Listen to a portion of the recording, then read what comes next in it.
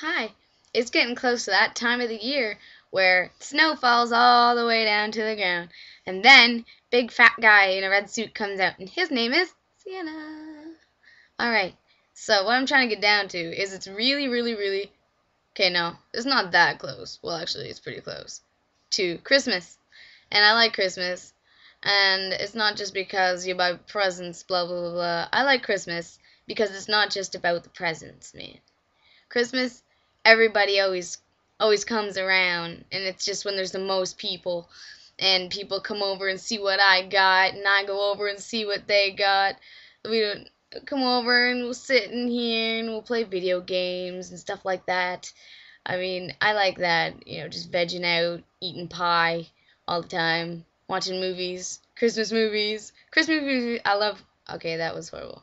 Christmas movies, I love because uh, they just remind me so much about when I was younger. Like Charlie Brown, it's on every year, every single year. Never changes at all. Like it's the same special. And then after that, there's another really weird special. And then there's like Olive, the other reindeer. And I'm just like, Olive? Like, what the hell? Olive, the other. Oh. oh. Um, yes. well, anyways, anywho, um, sorry to cut this short, but I've got nothing to say.